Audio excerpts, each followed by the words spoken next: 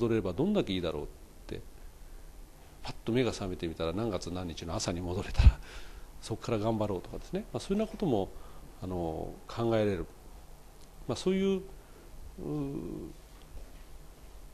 そのトラウマの問題そのものをですねやっぱりあのグループの中にいると、うん、自分なりにいろいろなものを気づかされたり人ってこう気づかせてくれますからね。知らず知らずのうちに、まあ、トラウマケアがそこで働いていくんだろうというふうに思います。で、まあ、今からこの今日の脳のダメージの話なんですけどもでじゃあそのトラウマケアそういう集団でやりました。それからうん、まあ、精神療法的にそういうアプローチもしました。大体どれぐらいでみんなそのトラウマから出していくんだろうかダメージから出していくんだろうかっていう話をですねやってみたいと思うんですね。で服のあの感じ方ではですね23年はかかるんじゃないかなとその断崖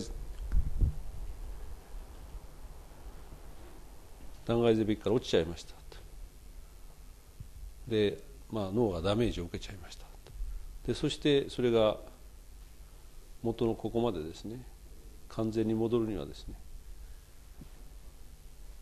まあ、これを聞くとがっかりする人もいるかもしれませんが。それくらいやっぱりダメージっていうことを無視しちゃいけないということをまあ言いたいわけですけども。それぐらいかかると思います。で例えばうん、まあ、今頭の中で浮かぶうん人たちでですね。うん、まあ、あるあの技術系の人たち今思い出すんですけどもその人が前のようにですね自分で責任を持って一つのプロジェクトを任されてこなせるにはですね1年では到底無理ですね。2年でも結構厳しいですね。で本当に3年4年5年それぐらい経つと、まあ、できるようになってくると。それからうん学校なんかも若い人たちですけどもやっぱり、うん、学校に行けるようになって1年目2年目やっぱり3年ぐらいでやっと元に戻るのかな、うんまあ、そういう例がまあいくつかあの思い出されます。でまあその3年間はですね回復のために頑張っていただきたいというふうに思うわけです。もうちょっと具体的な話をしますとね例えばあの職場に戻りました。でまあ仕事を5時まで通常通りやりましたと。でたまにですねやっぱりどうしても遅くなので残業を頼まれて、えー、例えば2時間残業をやりました。もうこれだけでかなりの人が疲れますね。昔はそんな2時間どころか次の日に午前様になっても平気で仕事してたような人がですよ。たった2時間の残業させられるともう次の日休むかなというぐらい疲れてしまうと。ちょっと消してしまいます。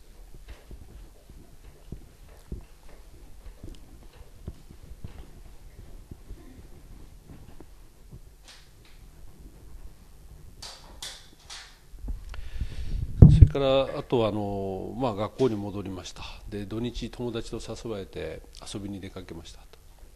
で普通はあの楽しいとこ行ってくるとですね、えー、エネルギーが倍増しましてね月曜日から頑張ろうって感じ。これ普通の人なんですけどもあのみんなはそういうふうになるんですけど自分だけはもう疲れが残っちゃってですねもう身動き取れなくなっちゃう、うん、場合によってはもう3日ぐらい寝込んじゃいますとかですね。僕が見る限りで1週間寝込む人って結構いますよね。で回復過程の中でだんだんと3日ぐらいになり1日になり。でまあやっとですねあのそういうなあの寝込まなくても済むようになっていくっていうぐらいもう回復過程で寝込むというのはもうつきものなんですね。それがまあなぜかということなかなかそれ解明難しいんですけども僕が臨床的にこう、うん、寝込む人がだんだんと回復する過程を見ている中その臨床的なものからの考えとまあ、最近ちょっと言われていることを少しね組み合わせて考えてみるとあ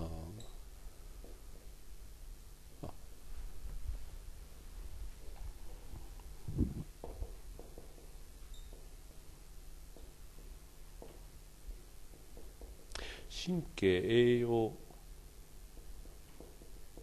因子ってね。こういうものがあの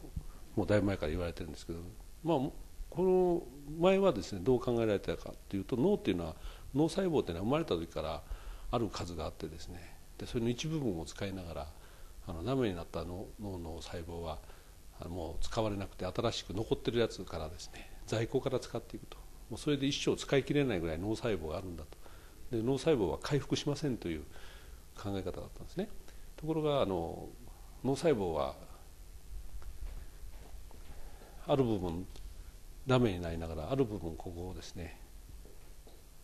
別のもので補っていくと、まあ、これは体と一緒ですよね。人間の体のタンパクなんかもそうなんですけどあの一部分が、まあ、壊れていきながらそこを再生していくという。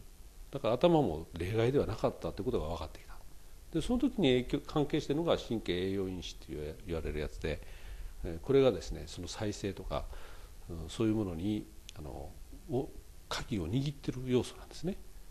だからこの神経栄養因子がないと崩れるだけで脳がどんどんと崩れていきましてね。で最後もうこれぐらいでこれぐらいしか脳はなくなってしまうなんてことになっちゃうわけです。でなんとこの神経栄養因子がなくなることがあるんですね。恐ろしいですけどそれがさっき言いましたストレス。で特に PTSD の時なんかは特にですね。これがなくなっていっちゃう。通常はあの適度なストレスというかな。程よいストレスが刺激しこれをするとですね神経栄養因子は増えるんです。つまりまあそれのストレスに対応しようと思ってですね頭もあの能力を倍増して対応しようとするんですね。ところが過度なストレスがかかっちゃうともう再生ができなくなっちゃう。だからまさに臨床的に言うこの過度なストレス PTSD うつのためのそういう、まあ PTSD 的な様子っていうのはねまさにこれですよね。だからドーンとダメージ与えられちゃうと頭の自分の能力がですね一時本当に後退したようなこれぐらいの能力になってるかもしれないです。ダメージを受けて。で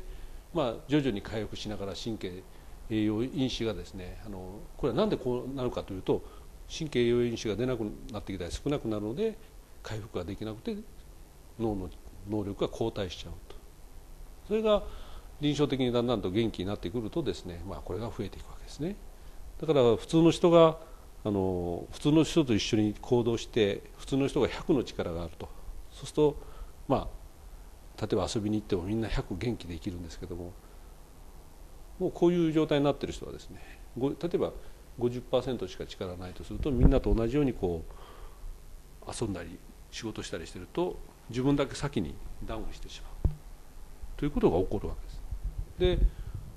まあダウンしたらあとどうするかというとですねもう動けなくなってしまうと。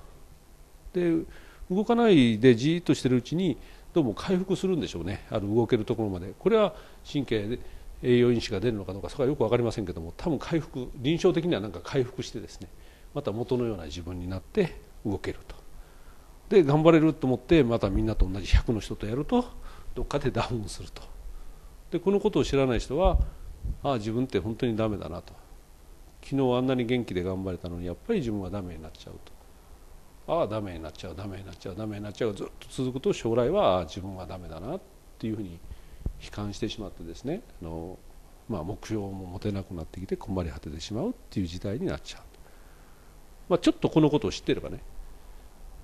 あの違うんですけども。だから僕は一生懸命あの診察の中でこういう説明をしています。ダウンする期間がだんだんと短くなってくるでしょうと。それからダウンしても一喜一憂しないようにしてくださいよっていうようなことは盛んに話しています。そのうちダウンしなくなりますからと。で臨床的に見るともうその通りなんです。でそれのだからキーワードはですね、まあ、あのストレス過度なストレスによって修復能力を司っている神経栄養因子があのうまく作れなくなっちゃった状態だということをちょっとイメージで持っていただけるといいと。でまあ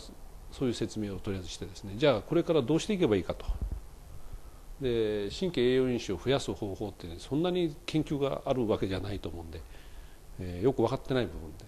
実はもうよく分かりませんではおさあのおしまいですということになりそうなんですがここからは臨床をやってる強みですね。僕は臨床的にこういう人たちを見てて